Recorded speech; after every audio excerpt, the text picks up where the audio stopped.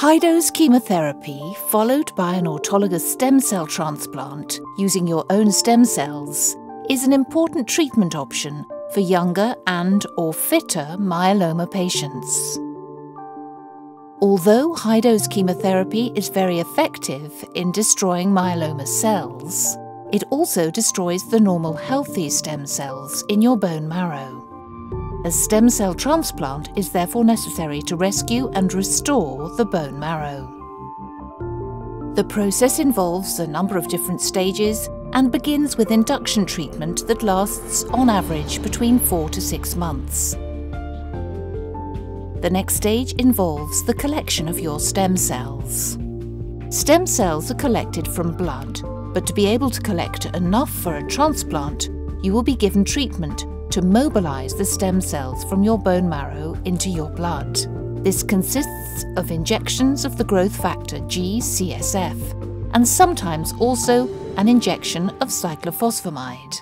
These drugs increase the number of stem cells in your bone marrow causing them to spill over into the blood, where they can be collected easily. If you are having difficulty mobilizing stem cells, you may be given another drug called plerixafor.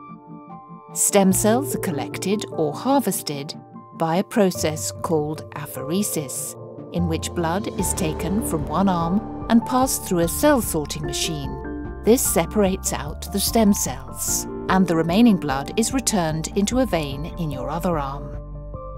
The harvested stem cells are mixed with a preservative and then frozen in liquid nitrogen until the time of your transplant. The next stage involves treatment with high-dose chemotherapy.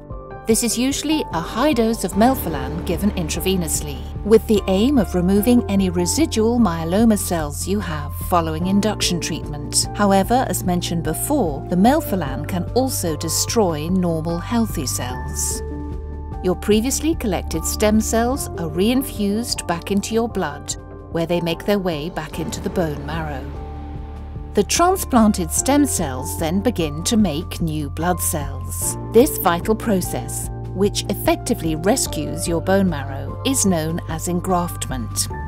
The first sign of engraftment is a rise in your white blood count, this normally happens two to three weeks after the transplant. Until the new cells engraft, you are at high risk of infection because you have fewer white blood cells. It is important that steps are taken to protect you from infection and to treat you as soon as possible if you develop one.